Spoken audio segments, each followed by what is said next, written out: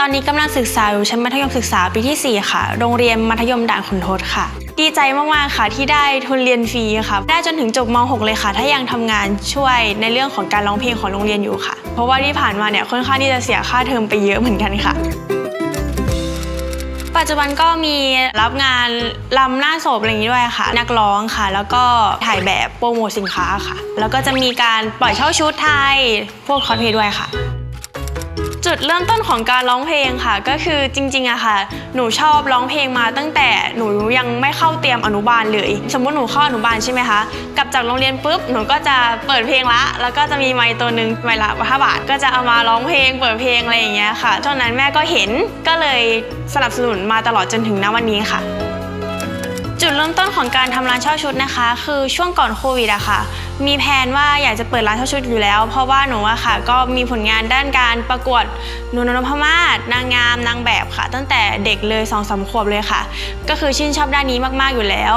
และทีเนี้ค่ะยิ่งหนูประกวดบ่อยๆเข้าเนี่ยมองว่าการเช่าชุดอะค่ะ มันค่อนข้างที่จะเปลืองงบมากๆเพราะว่าชุดหนึ่งก็ไม่ใช่ราคาถูกๆก็เลยตัดสินใจเปิดเองเลยค่ะ ลงทุนเปิดร้านนะคะก็ประมาณแสนสองแสนค่ะ ช่วงโควิดนะคะ ก็มีผลกระทบกับทางร้านมาก ๆ เลยค่ะ ตอนนั้นหนูยังเด็กมาก ๆ ยังไม่รู้จักว่าธุรกิจต้องทำยังไง โซเชียลต้องทำยังไงทำไงถึงจะมีลูกค้าทำยังไงถึงจะมีรายได้ ในขณะที่รายจ่ายเพิ่มขึ้นค่ะ เพราะว่าเราเช่าที่สำหรับเปิดร้านแล้วก็มีลูกค้าแล้วก็เสียตังค์ไปเปล่าๆ รวมถึงค่าน้ำค่าไฟ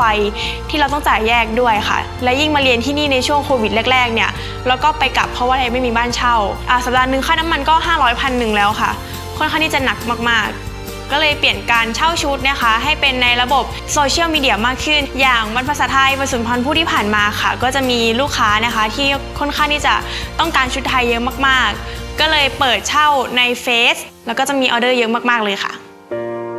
ถ้าได้เงินรางวัลนะคะ จะนำไปช่วยคุณพ่อคุณแม่ปลดหนี้ค่ะ ยังห่วงพ่อกับแม่อยู่ค่ะ ก็อยากให้เขาสุขสบายที่สุด เท่าที่เด็กคนหนึ่งจะทำได้ค่ะ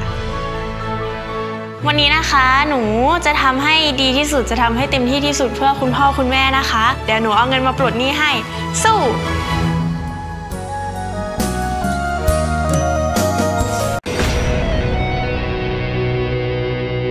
ดูละคร ซีรีส์ซิทคอม วาไรตี้ คอนเสิร์ต และทีวีออนไลน์ได้ทางแอปวันดี